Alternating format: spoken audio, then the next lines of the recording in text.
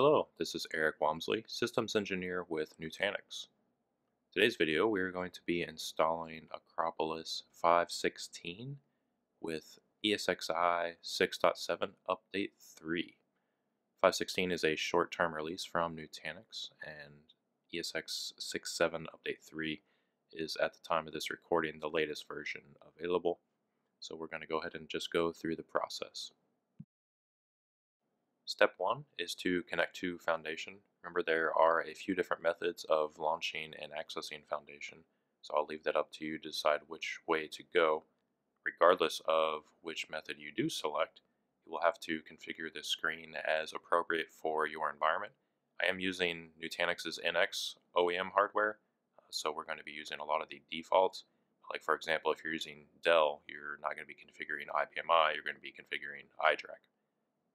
So on the first page, make sure you select the information that is appropriate for you. Definitely important is to make sure you select the CVM and out-of-band management, networking, and gateway information. Anything else here that is appropriate for your environment, please be sure to configure correctly. After you have everything configured correctly, go ahead and go to the next page for step two. Step two is where we add our nodes so that Foundation knows which ones to image. My nodes were auto-discovered, as you can see here.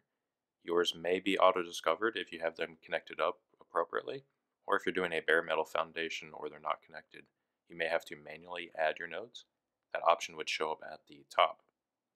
Once all your nodes are listed here, go ahead and give them the CVM, host, and out-of-band management IP addresses, and then also the host names that you plan to use.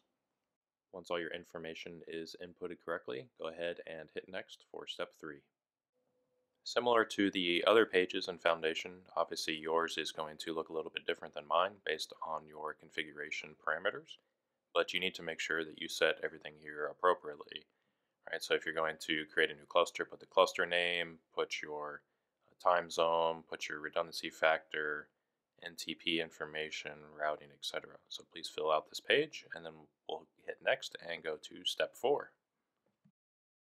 Step four is where we define what AOS we want to use. You can click up here to add the version you want to use. You can see I'm using 516.1. Go ahead and upload the one you want to use and then we'll hit next to go to the hypervisor.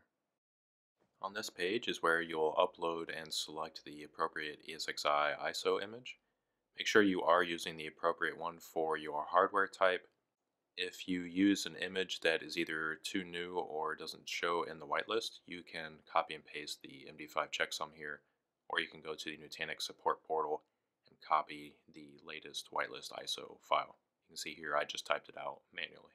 The last step before hitting the big green button is to identify the IPMI information. Since my hosts were auto-discovered, it already knows what the username and passwords are. If you are not using NX hardware, if you're using something else, or if you do not use the default Supermicro passwords, go ahead and input the information there. Pro tip, if you hit that Tools drop down, it actually has all the default passwords for all the major manufacturers. So if you're using like Cisco hardware, you can hit Tools, Passwords, and Cisco, and it'll auto-populate for you. Go ahead and fill out this information and then we will hit the big red finish button and it'll start imaging. Once everything is complete, go ahead and hit next and then proceed if you're ready to image and it's going to attempt to contact all the hosts. This screen is real time at the moment and you can see here that it is able to connect to all my hosts.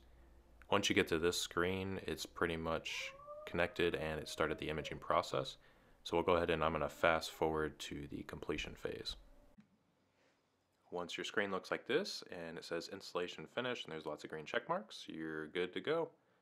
Go ahead and move your mouse and hit the click here button and it'll take you to Prism Element and you can log in with the default username and password which is admin and Nutanix for you.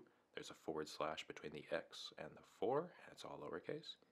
It's going to go ahead and ask you to reset the admin password to something non-standard so go ahead and watch me type out I love Nutanix a lot and press enter. And it'll have you log in again. Then once you actually log in with your new password, you have to accept the EULA. So go ahead and type in your information, read the legalese, hit accept. By default, Pulse is enabled. I'd recommend you leave it enabled, but disable it if your company's security policies require it. And then you should end up at your home screen for Prism Element for your brand new ESX 6.7 cluster running AOS 5.16. Thank you very much for watching this video on how to image a Nutanix cluster using ESXi 6.7 Update 3 as the hypervisor and putting AOS 5.16.1 on top of that.